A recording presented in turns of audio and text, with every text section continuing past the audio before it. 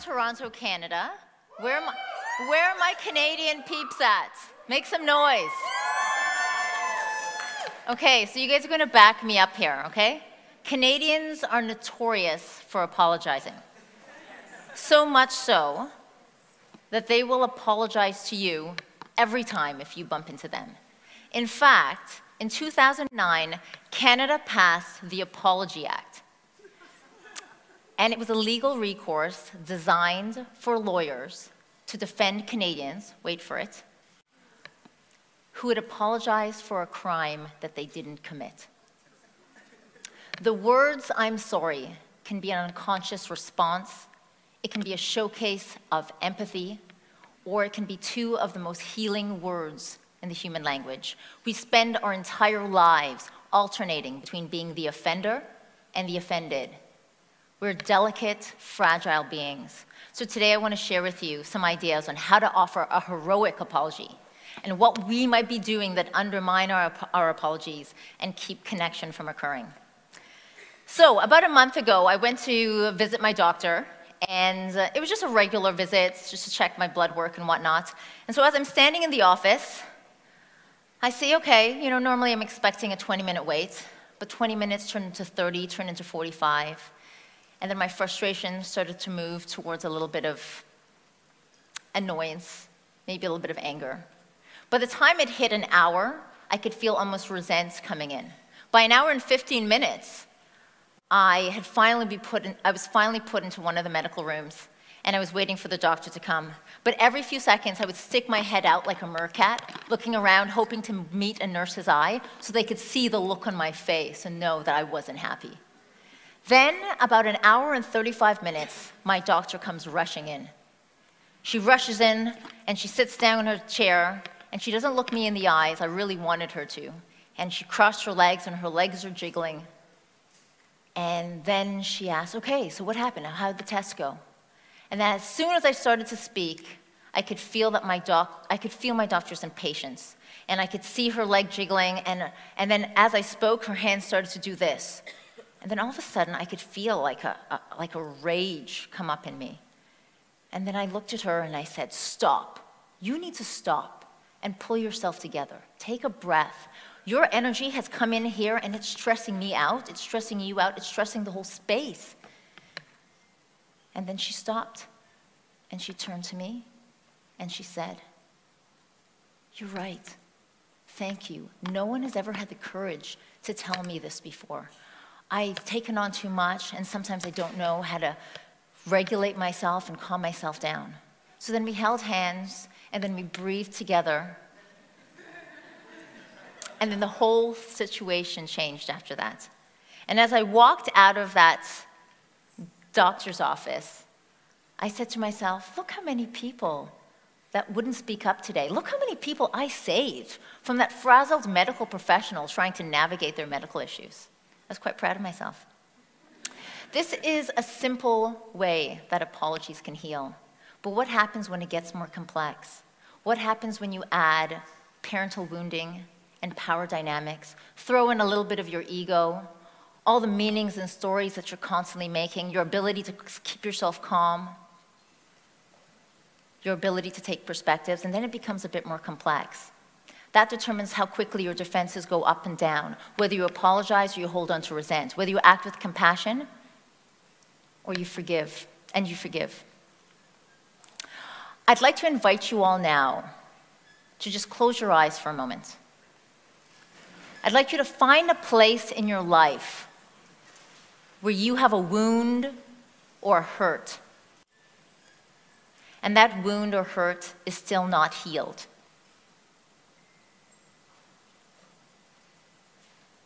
What would it feel like if somebody offered you, whoever that person is that made that transgression, what would it feel like if they offered a heroic apology? What would they have to say? And what would you feel?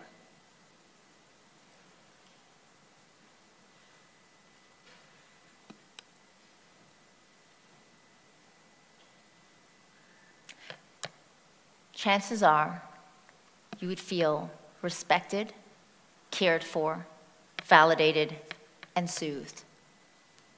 But it's not easy. It's not easy because there's so many things that hold us back from giving a heroic apology. We may be too angry. We may not know we hurt someone. We may be living in our ego. We don't feel we have anything to apologize for, or we feel we're going to lower our status by apologizing. So I've always been fascinated by apologies, mostly because I've sucked at them. Not when it comes to my children. With my children, I'm offering heroic apologies and they're flowing like a river. And with my friends, pretty much the same thing. With my husband, it's a whole different story. so I've distilled it down to three things that we need to be able to do in order to offer a heroic apology.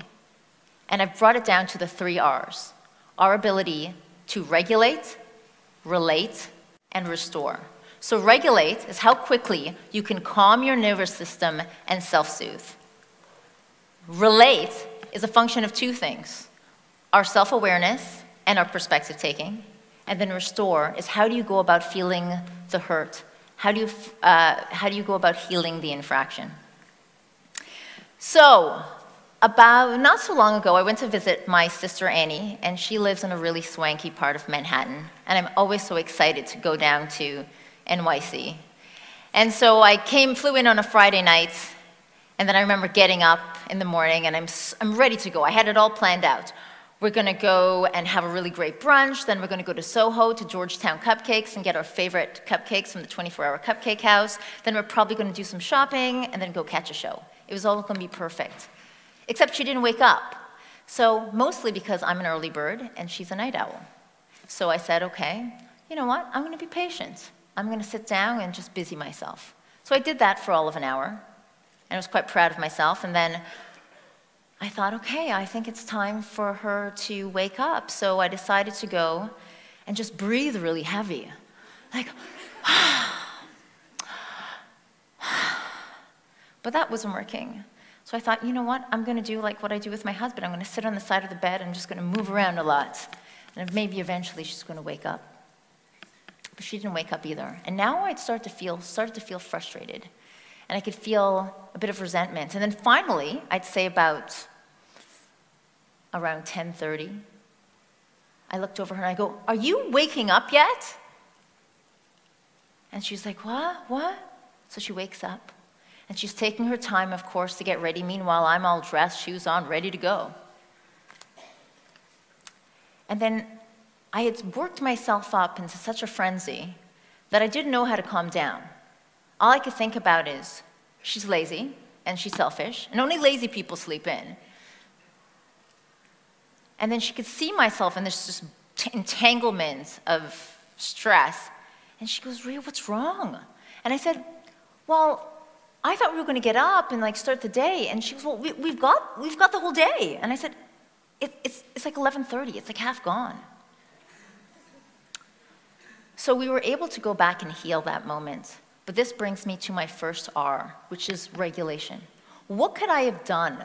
What could I have said to myself in that moment such that I, would, I could have showed up with my sister in a way that I was proud of? So I didn't have to get, have it get to that place in the short, beautiful time that we had together.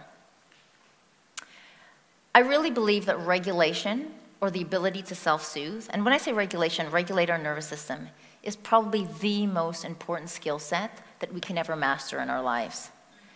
Uh, but we often struggle with it because most of us never grew up with parents that modeled it for us. We grew up with parents who loved us, lungs and liver, but didn't know how to feel their own feelings.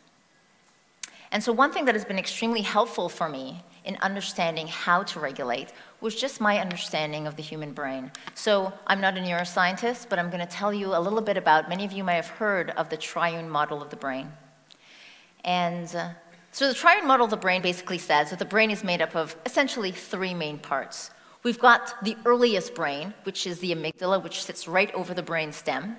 And that one is the pre-verbal, pre-conscious fight or flight part. It's where all of our senses at every moment, before we get to the higher thinking part, comes into the amygdala. And basically it's like the hub.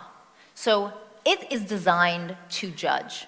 You know, we grew up saying, hey, it's not good to judge, but the truth is we're all judgers. That's how we were, that's how we were designed. Because if a tiger's chasing us, we don't have time to think about should I run? You gotta run. So the amygdala there has this amazing superpower, and the superpower is this. It has the ability, when you have a big emotion like anger or sadness or fear, to hijack your entire brain. So of course, in the triune model of the brain, we also evolved the second part, the mammalian brain. This is the part of the brain that, as social constructs established, as relationships established, it's the emotional part of the brain that started to develop as we moved from fight or flight. And then we evolve the cortex. And really, the most important part now, which makes us human, which is this piece right here behind our forehead, the prefrontal cortex, which allows us to have feelings about our feelings, which allows us to philosophize, so what we're really looking to do always is how do we go from our amygdala, which has the ability to hijack our brain and is there when we're having all of our big feelings, and then integrate it so that we can make good decisions and actually start using this part, right? So we want to be able to integrate our brain. We also know that we have a left and a right brain. Nobody's ever, like sometimes I hear people say, I'm either left brain or right brain, but no one is either left or right brain. Both inform each other. However, we know that the right brain thinks of the world in terms of we. It sees the big picture. It is the leads with emotion. It, uh, it leads with connection. The left brain is linear. It loves lists. It's analytical. It's methodical. It sees the world in terms of I. So again, we always want to try and integrate the right and the left brain. But I'm going to give you a really good hack right now. And this is actually one of my favorite hacks, and that is whenever you see somebody that's upset, you always want to lead with the right brain. Uh, we have given the left brain a lot of importance, going from school, just from reading left to right. So we put a predominance on our left brain in order to answer somebody when they're angry or to respond to somebody when they're sad. And so what I'd invite you to do is whenever you see somebody having a big emotion, whether it's fear or sadness or anger or frustration, never lead with your left. Always lead with the right, redirect with the left. Lead with the right, redirect with, lead with connection, lead with tone, lead with softness, lead with um, touch. And only when the teachable moment comes, bring in a left brain response. So let's go back to my sister. What could I have done in order to um, optimize that experience that I had with her for those two days? So the first thing that I could have done is, well, first of all, we could have actually the night before set up a plan so that we both were in alignment about how the weekend was going to go, and then we would have woken up and both of us expectations would have been met, and that would have been great. I also could have done solo New York because I'm really good solo, and who can't have fun in New York on their own? I could have done that. So the first thing that I could have done, though, that actually would have helped me regulate my nervous system would have been to breathe. Yeah? Your breath is your dial in for your state. So I could have noticed. Now, here's the thing most people don't realize that they're angry or they're worked up until they're literally stomping around. Or they're really, really, like they're really, really upset, or they start to go into shutdown. I want to share with you some techniques on how you can actually catch what's happening upstream long before you are in the vortex of anger or sadness or frustration. So, your breath is the dial in for your state. Meaning, if I'm always, if I'm confused about where I'm at, the first thing I need to check is go into my body and be able to see where is my breath at, and am I breathing in a way that feels expansive? That take the breathing out of the mouth. Am I breathing in such a way that's expansive, or am I breathing in such a way that shows that I'm under a state of stress? And then I can start cluing in. Because one of the techniques that not only do I teach, but has been the biggest savior for my life when I start spinning is this. I imagine that I am in a scanner, a circular scanner. And as I'm going through the scanner, this scanner is simply scanning for sensations. Okay? So it's scanning down, and I'm feeling into my forehead, I'm feeling to the back of my neck, my shoulders, eventually my chest. And the benefit of doing that is That is what it means to feel your feelings. I mean, people say the words feel your feelings all the time, but what does that mean? It means to actually feel the sensations, get out of your head and into your body. Find out where that sensation is. Is it in your chest? Is it in your throat? Is it in your head? And then when you find it, don't just abandon it. Don't just go, okay, I'm going to go put a load of laundry in, or I'm going to go wash a dish, or send a text. I'm going to actually stay with it. And it may feel uncomfortable. It may feel stressful because chances are when we were really young and we had those big feelings like jealousy at two and at five and at 10, no one was around to help us navigate that intricate labyrinth. So, what we want to do is be able to stay with the feeling. And if we're willing to be courageous enough to stay with that feeling to completion, then you'll be able to get to the end of that tether. And at the end of that tether is always a jewel, an epiphany, a gem. This is where the unconscious wants to reveal itself. So if ever you want to get access to your unconscious, be courageous enough to actually stick with the feeling in your body. Because if you go color, texture, shape, movement, intensity, color, shape, texture, movement, intensity, it gets you out of your head and actually feeling your feelings because feelings are psychosomatic. Yeah? I can't crack open your head and go, aha, there's anger. But what I can do is I can find the physiology of anger. I could look on a, some sort of medical system. Where has the blood flowed? I could check my cortisol levels in my body to see that they're high or my adrenaline levels. I could feel the sensation in my chest or in my shoulders or in my back and then I can actually stay with the feeling and actually feel my feelings. This is some of the most important work for those of you who are parents that you can teach your children how to do. In fact, we're teaching them right now in the kids program. And this is what it means to feel your feelings. And then what happens is, if ever you're going to get whatever somatic intelligence that is at the end of that tether, then it's going to be there for you on tap. And then you can do something with it. So, I could have noticed my breath. I could have hosted and interviewed my anger. I'm a good host. So why not, why not invite anger in? Why not invite my uncomfortability, my annoyance, my stress, my loneliness? Invite them in. Imagine they're like a friend that's come from a far off place and say, hey, come sit down, lie down on the couch, eat from the buffet table. Let me ask you some questions about you. I'm so curious because I know that at the end of my anger and the end of my sadness has so much beauty that I get to tap into if I'm if I'm patient enough to stay with that feeling. So interview, interview your emotions. Name it to tame it. So this is something that I learned from Dan Siegel.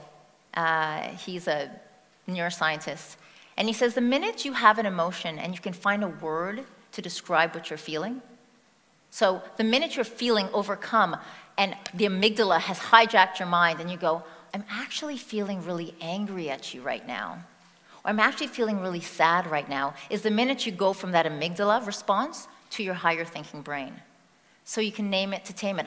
I can tell you that, uh, you know, often with my husband, who I love to bits, but I'll hold his hands and will be, there'll be something that's frustrating me, and I'll say, I'm really angry right now.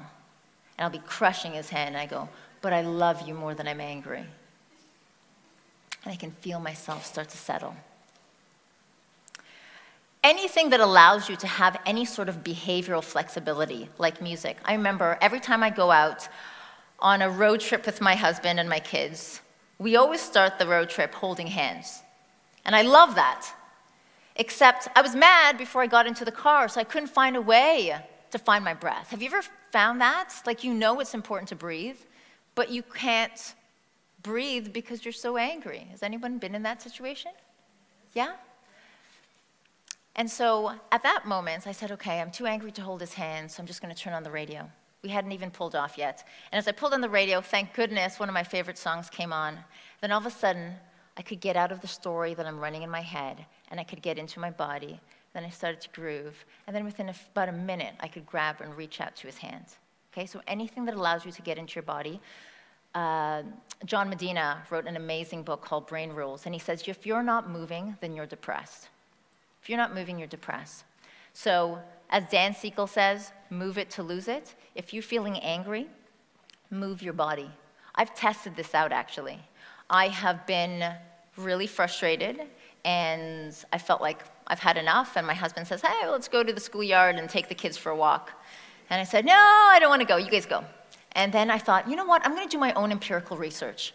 I am going to start walking while I'm angry. So I started walking, and I walked about 100 meters, and I thought, nope, still angry, it's not working. And then I walked about another 100 meters, and I go, I still feel angry, but it's like about an 8 out of 10.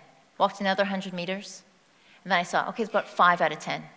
And then by the time I got to the schoolyard and was throwing a basketball, I was like down to a zero. So move it to lose it. So those are just some really great hacks that I've used in my life in order to be able to calm my nervous system, soothe my amygdala, and start making a good decision.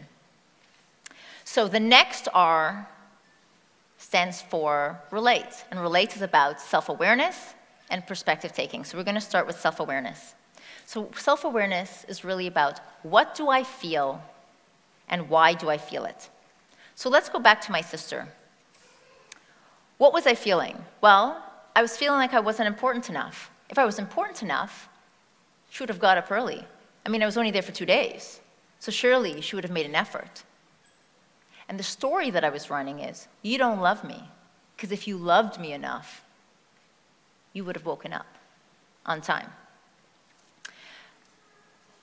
So I want to share with you some hacks in order to build your self-awareness if ever you're feeling stuck. Because had I have self-regulated and calmed myself down, I might have been able to tap into what was actually going on, which is the fact that behind the anger was something else.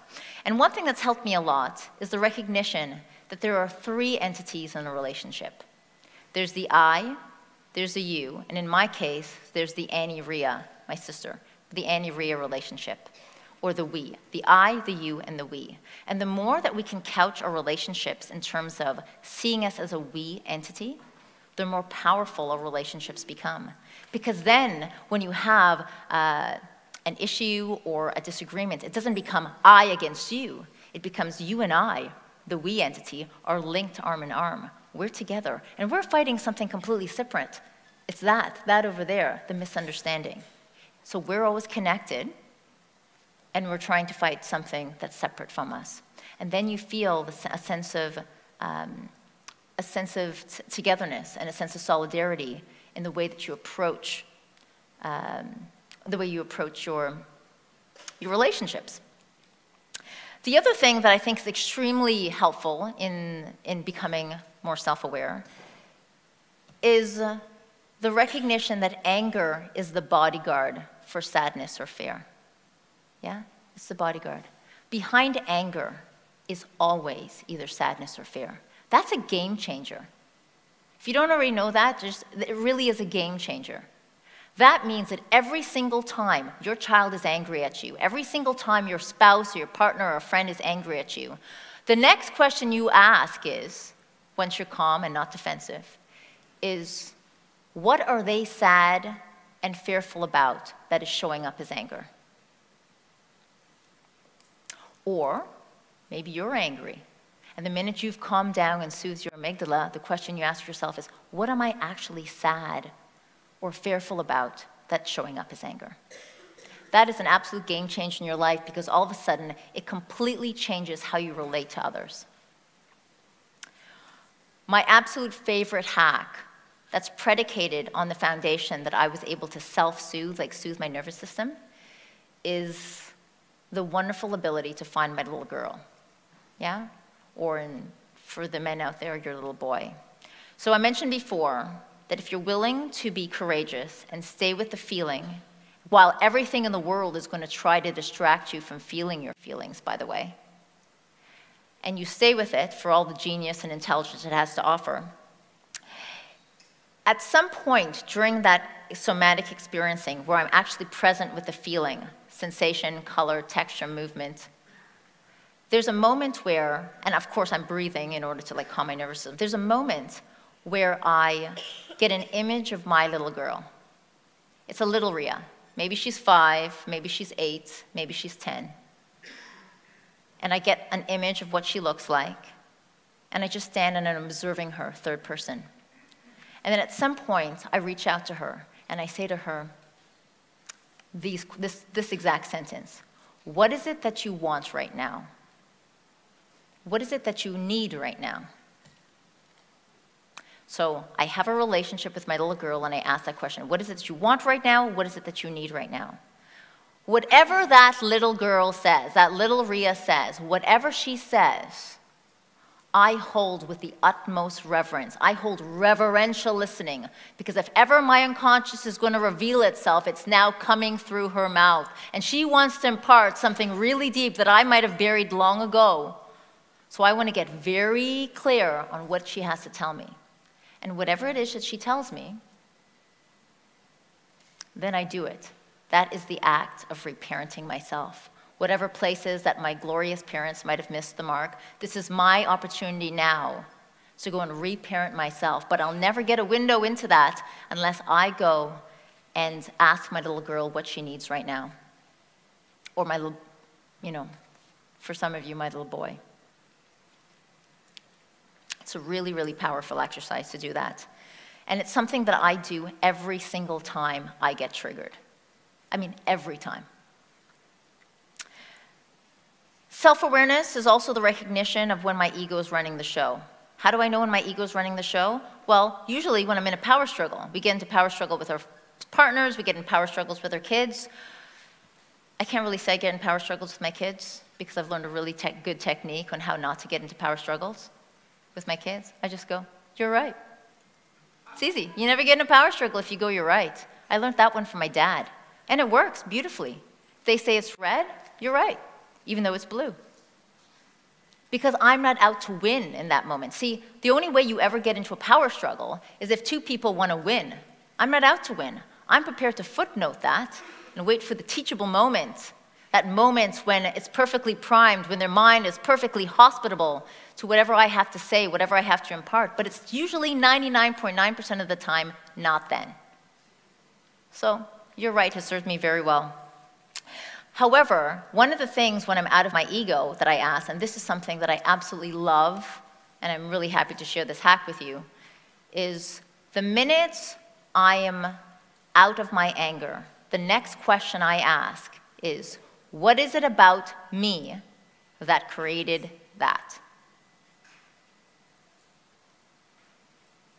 What is it about me that created that? It takes the onus completely off the other person because it's all a you, you, you, shoulda, woulda, coulda, and puts it right back onto me.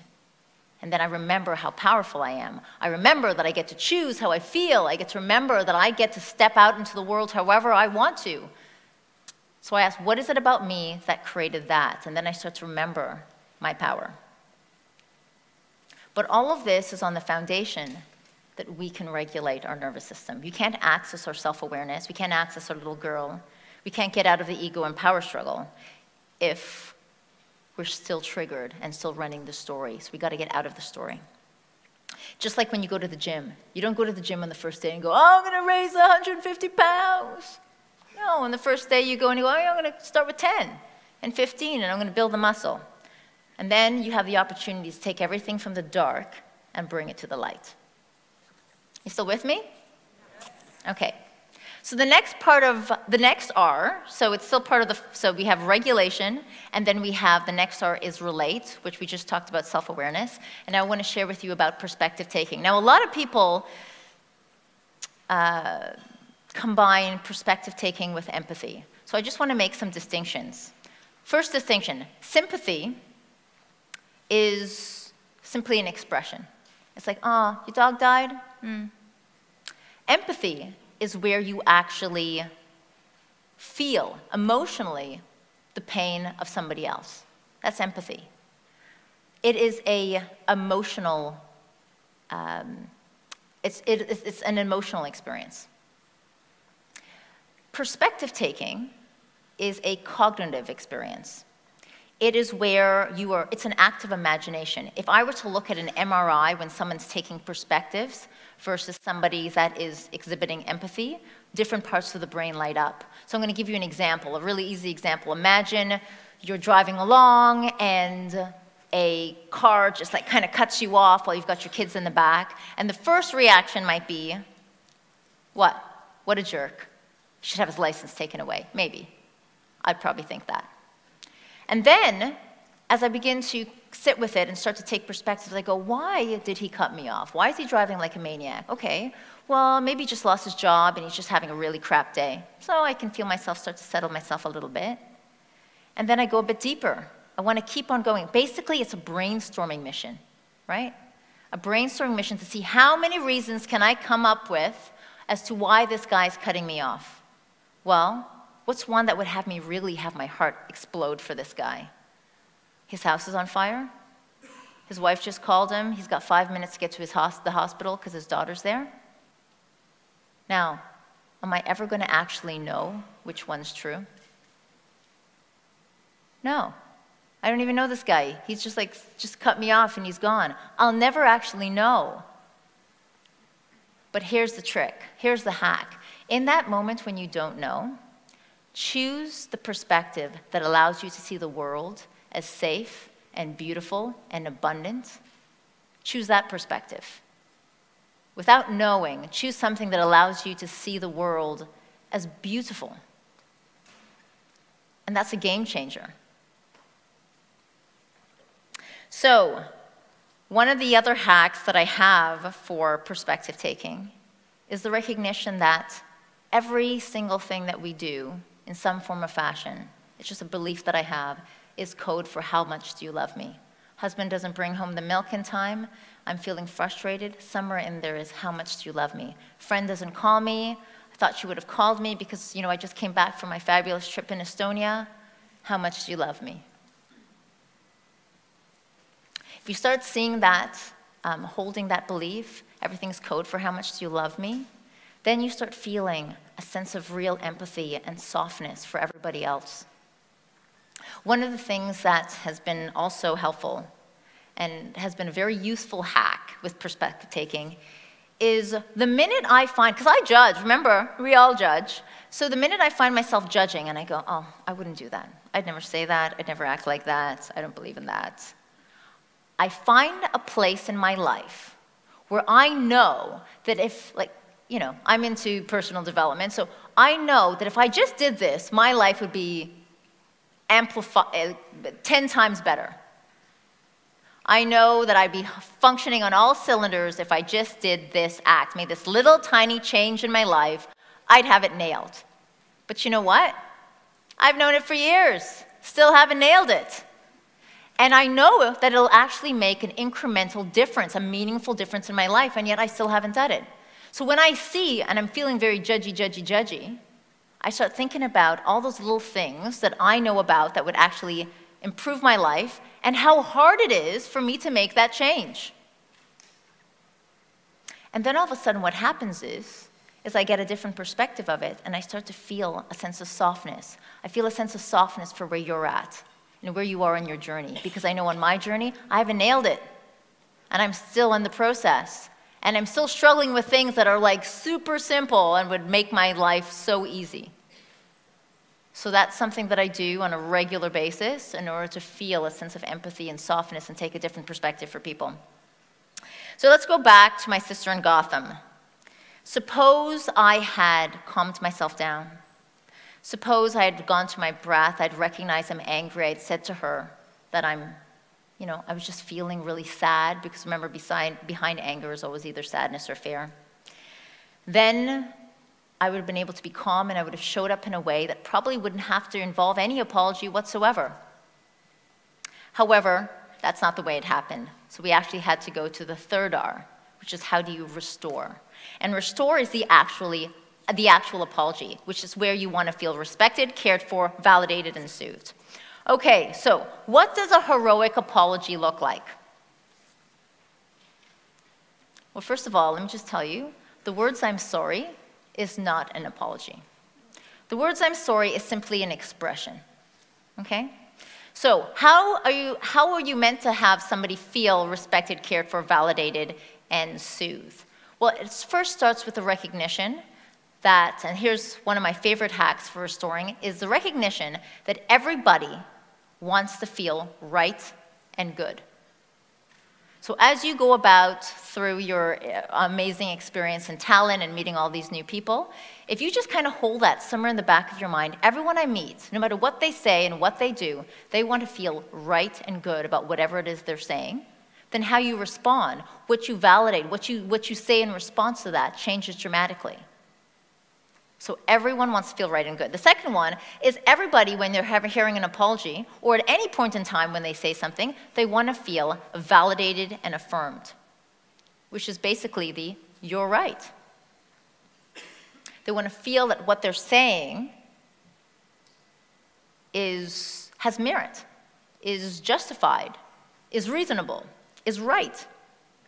So my, one of my hacks, I'm giving you all kinds of hacks here today, but one of my favorite hacks is when you want to restore something with somebody, okay? This is like, this is the, the, the, the move I pull when I want to show up like a hero, okay? I imagine that as I'm in the, the depths of my pain and my anger and my sadness and whatever, as soon as I've regulated enough to have some bit of consciousness and clarity, I imagine my life is right now, whatever's happening, all the characters that are all around me are up on a movie screen, including me. And then I say to myself as I watch that movie screen, what would that girl that's playing Rhea have to do where I would go, where did she pull that from? Where did she pull from her baby toe to respond like that in a way that I would be clapping triumphantly for her? And it takes that little bit of distance that allows me to get that image in my mind, has me think about how can I now show up in a way that's magnificent, eh, heroic? What would she have to say and do that everybody in the audience would be clapping for? I don't know where she got that from. Let, that's amazing. That's something that I do on a, on, on a regular basis whenever I'm at that crossroads between how should I respond or even if I'm not getting anything back. Because at the end of the day, I can only control myself and I want to show up. That's, that's the game I'm playing. I want to show up like a hero as much as possible. Now, when we're talking about the actual apology and restoring the apology, of course, we have to also think about how you do it, um, how you do it. So I don't know about you guys, but have any of you guys ever got an apology and it sounds like an FU? Yeah? Okay, so this is where all the, all the, the soft skills come in. Your tone, your touch, your eye contact, everything that allows that person to feel really deeply heart connected to you so that the apology lands. And of course, the other little thing is to keep it short. I know that from doing many, uh, many apologies that have gone completely wonky. So that's why I want to tell you a little bit about non-apologies. So this is where you think it's apology, but you've actually screwed it right up, okay? So I'm going to give you a few, and I'm going to see if you guys can figure out what went drastically wrong with this apology, okay? So I'm sorry I'm late, but I got hung up in traffic. I'm sorry I yelled, but I told you five times. I'm sorry I have a tone, but you didn't listen the first few times. The but. That's right. Because it cancels the original message and as if there's a justification or an excuse. Have you guys ever got caught out using an apology like that one? Anyone? Okay, so let's try another one. I'm sorry if I hurt your feelings. I'm sorry if I had a tone. In fact, I got caught out on this just the other day. I went and I saw my little daughter, and she was in a room, and I said, Oh, I'm sorry if I had a tone. I'm sorry if I was insensitive. What's wrong with that apology? If. Why? Because they're not validating it all. saying, like, if I was insensitive, I don't think I was. Yeah. You totally wiggle out of responsibility, right? Okay. All right, let's try another. I'm sorry you felt that way. I'm sorry you felt I was rude. I'm sorry you got so upset. What's wrong with that apology? Yeah, it's almost like the issue was with you. Not everybody would get, up, get upset at that, but you would, because you're a weirdo. Yeah. How about this one? I know I've used this, but I can't think of when, but tell me if this resonates at all. I really want to apologize for what happened yesterday. I really want to. I want to. That's not an apology. That is an expression of intent. So do the work, okay? Do the work. The next bit of apologies that go wrong is where somebody over apologizes. Over apologizes. Have you guys experienced that? Are you an over apologizer? Yes? Okay, so over apologizing sometimes can be an esteem thing, sometimes it can be a Canadian thing. right? But the problem with over apologizing is that it puts an immense amount of pressure on the person who's receiving the apology to try now, and when they could have just been doing something else, now they have to appease you and comfort you. It puts a lot of extra anxiety and stress on that person. So we want to relieve them of that, right? We want to keep it short. Forcing an apology. So some of you are parents that are out here in the audience, and I'm a parent myself, and I just wanted to share why I believe that we should never force an apology. I've never, ever, ever asked my children to apologize to somebody for doing something. And the reason why, and they might have done something that might have been insensitive, but the reason why is when I force somebody to apologize, I don't trust, it's an untrustable apology. I don't believe that it's come from an intrinsic part of them, where they've sat down and they've waited out and they've come to the conclusion themselves on how do I heal this. So if you're parents, uh, I invite you to ask a really great question. Ask some beautiful questions that allow the child to go deep and to introspect and to reflect, and then see what they come up with themselves. Don't be attached to whether they apologize or not. Forgo the need to look good in front of the other parent in that moment. Footnote it and find the teachable moment, that exquisite moment where you're all yummy, yummy right before bed, maybe, and then see what happens in that space. And lastly, just because I'm talking about parenting in this moment, and that has to do with, for those of you who are parents, and as a conscious parenting coach, uh, I believe that it's always the parent's job to lead, to always to lead to the apology. There are places in our lives where we have no clue because we're rushing around like mad people, and we have no clue that we've hurt somebody in the household. And it could be the most, the smallest infraction. And uh, so on that note, it's wonderful to continuously ask for feedback from your children. I mean, it's probably one of the best things in the world, the best gift actually in the world is for someone to ask, is there anything I can do to be a better friend? Is there anything I can do to love you better? Is there anything I can do to be a better mother? If you ask that question often, people will be, love you. I really am working at being a better friend. I want to make it a safe space for you to tell me anything so I can show up like a hero. What can I do?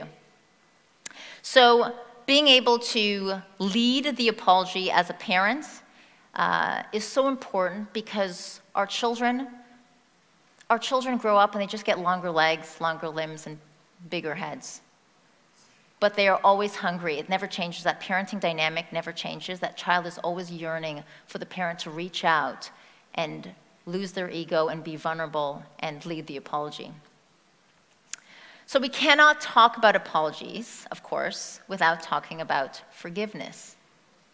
And one of my favorite quotes of all time is by Gandhi, and he says, The more a man knows, the more he forgives. The reason why I find that so beautiful is because if we knew every hurt, every experience, every missed opportunity, every paper cut that exists on someone's heart, then we could forgive everything. We could understand their entire being in that moment. Couldn't we? But we don't. We don't have a window or privy. So we have to use our imagination. We have to do some perspective taking to try and imagine what created that response, what created that action. But the more a man knows, the more he forgives, then I can create some forgiveness and softness in my heart instead of feeling you, you, you, or judge, judge, judge. We live in a world where it's so run by ego. And we want to win. We want to win at every opportunity. We want vindication. That's why it's so hard for us sometimes to forgive. And so there was a uh, there was an article that I read, and it was by Dr. Kelly Flanagan, and it was so beautiful. And I've read this article so many times. It's longer than what I'm about to read now, but I will tell you that I've adapted it um, significantly to work for today, but the, the major sentiments that he offered are here, including a few of my own. So I'm just going to take a moment and read it to you because it's one of my favorite articles of all time. Many think forgiving is at odds with being right and winning, but perhaps real relationships are made for losers. When it comes to winning and losing, I think there are three kinds of relationships.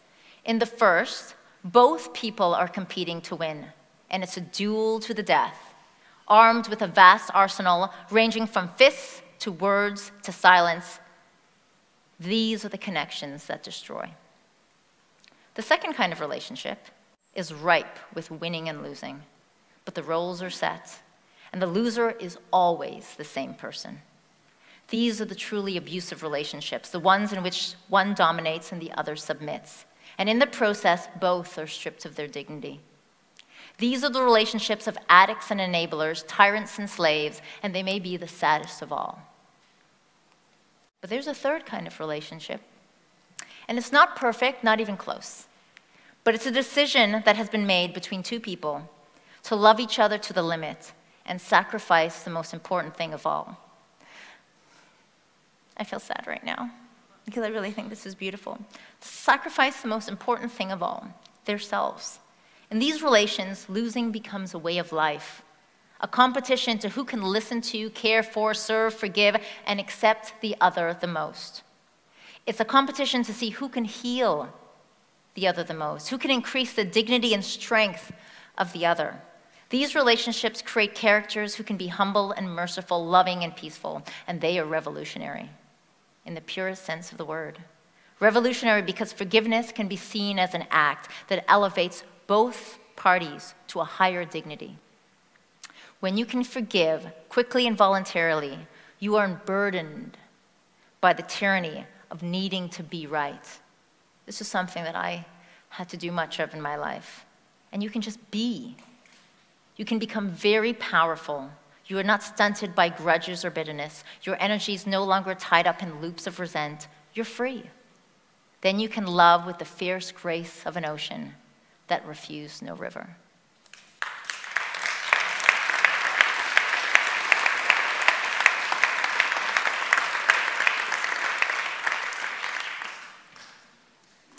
So, I've shared with you some ideas on how to offer a heroic apology.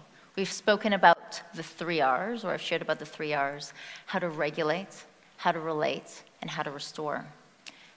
And I encourage you all to continue practicing how to give an epic apology. But I want to leave you with one last thought. Okay, this is when everything goes wrong on your stage. Yeah. Uh, I want to leave you with a couple last thoughts. And one is there's no statute of limitations to offering an apology. If there's something that's happened in your life, I'll tell you, something happened 10 years ago with my husband. I don't know, it was something silly. And we were, we were at the Grand Canyon. And literally, it was only about two weeks ago I said, Oh, you know, he was right. And I was, I was wrong. And so I found him and I said to him, I was I was wrong, and I'm sorry. You were actually right, and I, and I gave, told them exactly how and the impact it had. And so there is no statute of limitations on apologies, and I share that with you because right now maybe you're thinking about apologies. Maybe you're thinking about who you can apologize to, where you can clean up some of the mess that's out there. And if, if you have the opportunity, then after the session, go ahead and do it. The final offering that I want to leave you with, though, is that I believe that our default nature is caring is love, is light.